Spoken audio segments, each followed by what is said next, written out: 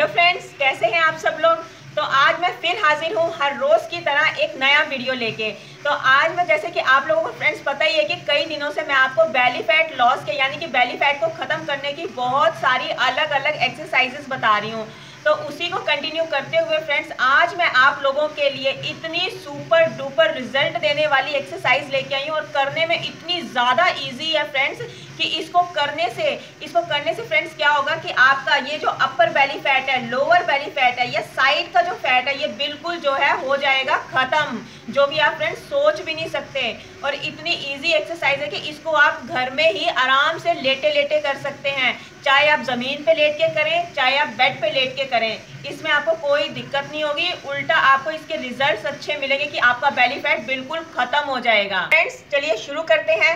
लेकिन शुरू करने से पहले मेरी आप लोगों से रिक्वेस्ट है कि मेरे चैनल को सब्सक्राइब कर लीजिए। क्योंकि फ्रेंड्स मेरे जो सब्सक्राइबर हैं, अभी बहुत ज़्यादा कम है।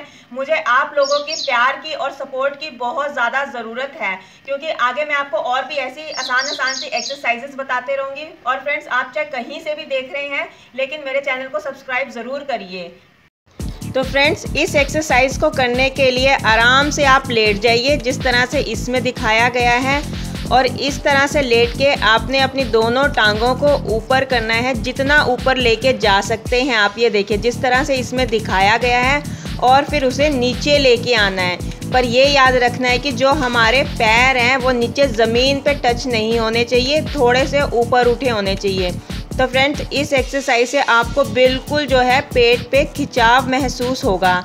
और इसी एक्सरसाइज को हमने जो है जितने टाइम्स आप कर सकते हैं, उतनी बार करना है। और उसी के आपको तीन चार सेट्स लगाने हैं। और देखिए आपको इससे जो है कितना ज़्यादा फ़ायदा होता है, पेट में कितना खिंचाव महसूस होता है और कितना इससे जो है फ़ैट लॉस बहुत जल्दी होगा फ्रेंड्स और साथ के साथ जो आपका निकला हुआ पेट है, वो बिल्कुल अंदर चला जाएगा।